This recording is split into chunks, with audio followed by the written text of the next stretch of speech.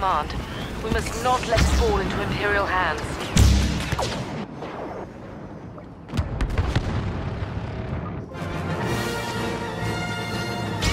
May the Force be with us.